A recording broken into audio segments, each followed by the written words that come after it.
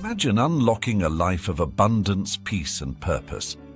This is the message that Earl Nightingale shared when he revealed that success isn't about shortcuts or luck. It's about paying the price. But what is that price? It's more than just hard work. It's a mindset transformation. Nightingale shows us that success is built on our thoughts, beliefs, and actions. It's about daring to believe in our potential, nurturing courage, and feeding our minds with ideas that lift us up. It's setting a goal so clear that it becomes a daily compass, guiding every choice we make. As Nightingale beautifully reminds us, we're standing on acres of diamonds, opportunities hidden in plain sight, waiting for us to act. So he invites us to embark on a 30-day journey, one where we replace fear with faith, pessimism with possibility, and begin taking steps, big and small, towards the life we truly want. This isn't just about making money or achieving status.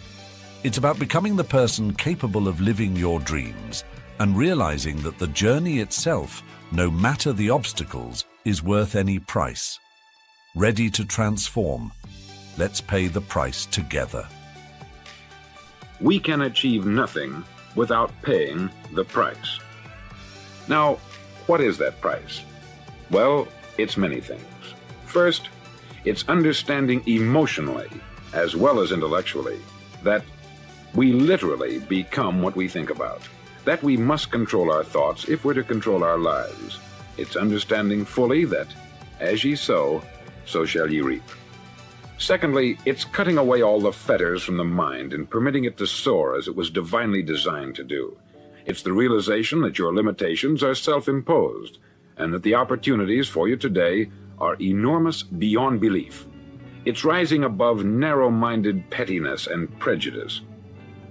Thirdly, to use all your courage to force yourself to think positively on your own problem, to set a definite and clearly defined goal for yourself, to let your marvelous mind think about your goal from all possible angles, to let your imagination speculate freely upon many different possible solutions, to refuse to believe there are any circumstances sufficiently strong to defeat you in the accomplishment of your purpose, to act promptly and decisively when your course is clear, and to keep constantly aware of the fact that you are, at this moment, standing in the middle of your own acre of diamonds, as Russell Conwell used to point out.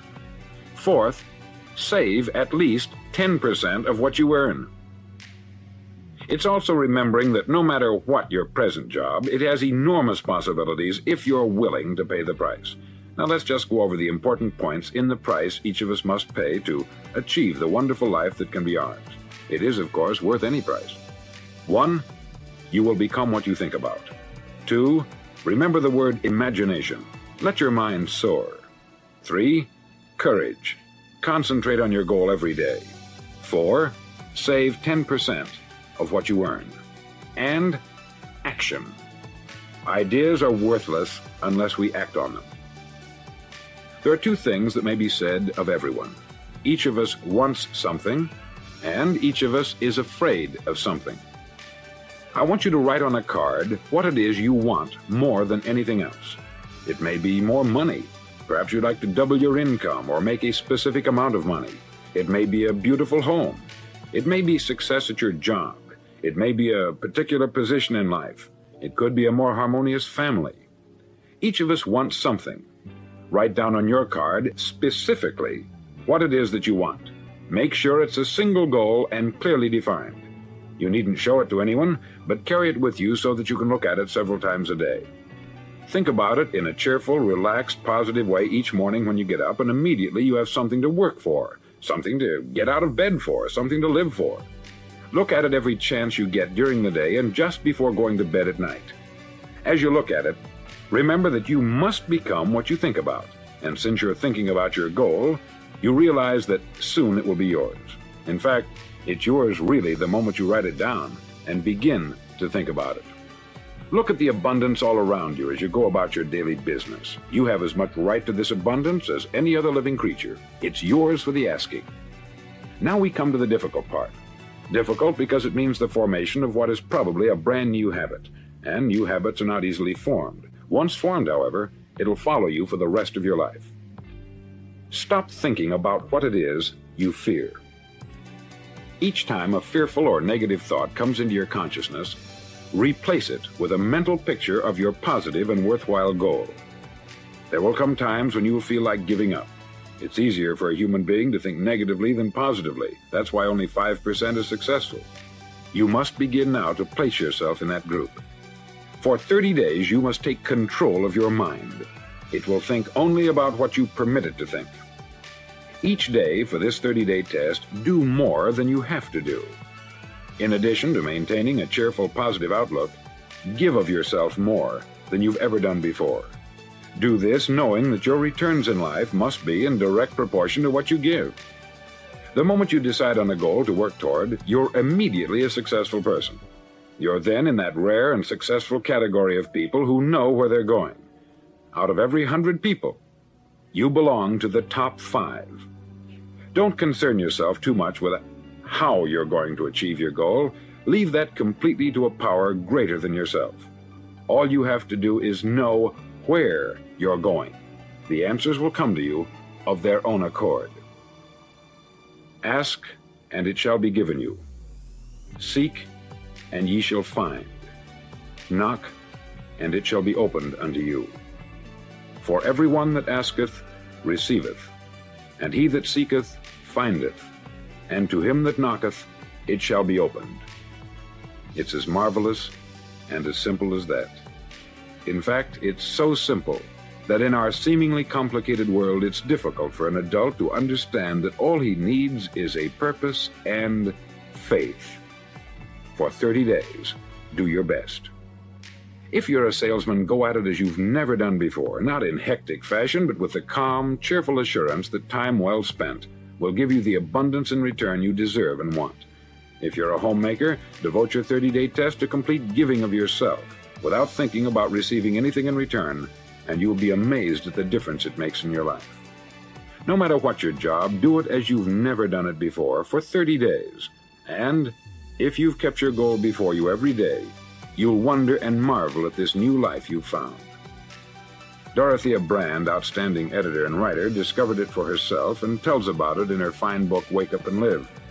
Her entire philosophy is reduced to the words act as though it were impossible to fail.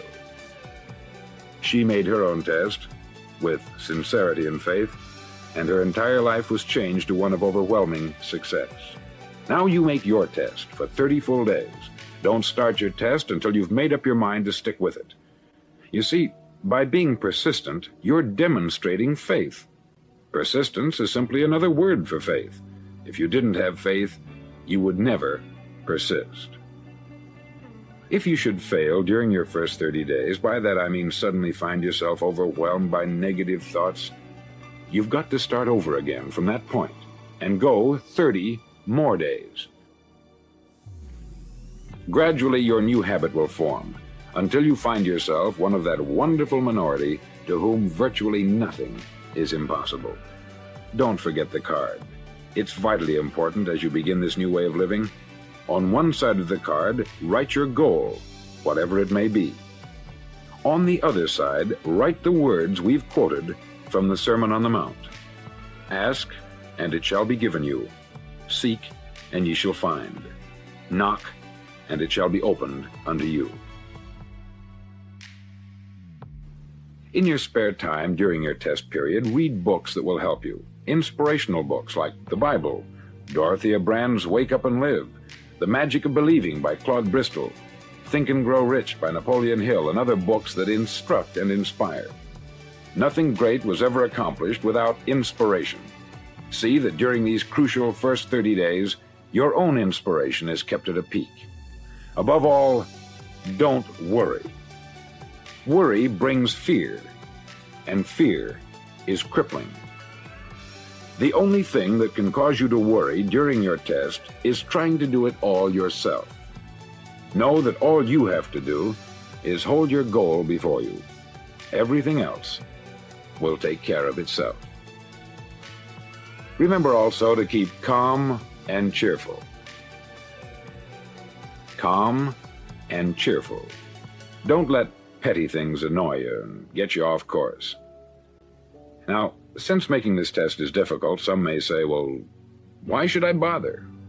Well, look at the alternative. No one wants to be a failure. No one really wants to be a mediocre individual. No one wants a life constantly filled with worry, fear, and frustration. Therefore, remember that you must reap that which you sow. If you sow negative thoughts, your life will be filled with negative things. If you sow positive thoughts, your life will be cheerful, successful, and positive. Now, gradually, you will have a tendency to forget what you've heard on this record. Play it often. Keep reminding yourself of what you must do to form this new habit. Gather your whole family about and listen to what's been said here at regular intervals. You know, most men will tell you that they want to make money without understanding the law. The only people who make money work in the mint. The rest of us must earn money. This is what causes those who keep looking for something for nothing or a free ride to fail in life. The only way to earn money is by providing people with services or products which are needed and useful. We exchange our product or service for the other man's money. Therefore, the law is that our financial return will be in direct proportion to our service. Success is not the result of making money. Making money is the result of success. And success is in direct proportion to our service. Most people have this law backwards. They believe that you're successful if you earn a lot of money. The truth is that you can only earn money after you're successful. It's like the story of the man who sat in front of the stove and said to it, Give me heat, and then I'll add the wood. How many men and women do you know, or do you suppose there are today, who take the same attitude toward life? There are millions. We've got to put the fuel in before we can expect heat. Likewise, we've got to be of service first before we can expect money. Don't concern yourself with the money. Be of service. Build, work, dream, create. Do this, and you'll find there's no limit to the prosperity and abundance that will come to you. Prosperity is founded upon a law of mutual exchange. Any person who contributes to prosperity must prosper in turn himself. Sometimes the return will not come from those you serve, but it must come to you from someplace, for that is the law. For every action, there is an equal and opposite reaction. As you go daily through your 30 day test period, remember that your success will always be measured by the quality and quantity of service you render, and money is a yardstick for measuring this service. No man can get rich himself unless he enriches others. There are no exceptions to a law. You can drive down any street in America and from your car estimate the service that's being rendered by the people living on that street. Had you ever thought of this yardstick before? It's interesting. Some, like ministers and priests and other devoted people, measure their returns in the realm of the spiritual, but again, their returns are equal to their service. Once this law is fully understood, any thinking person can tell his own fortune. If he wants more, he must be of more service to those from whom he receives his return. If he wants less, he has only to reduce this service. This is the price you must pay for what you want. If you believe you can enrich yourself by deluding others, you can only end by deluding yourself. It may take some time, but just as surely as you breathe, you'll get back what you put out. Don't ever make the mistake of thinking you can avert this. It's impossible. The prisons and the streets where the lonely walk are filled with people who tried to make new laws just for themselves. We may avoid the laws of man, but there are greater laws that cannot be broken. An outstanding medical doctor recently pointed out six steps that will help you realize success.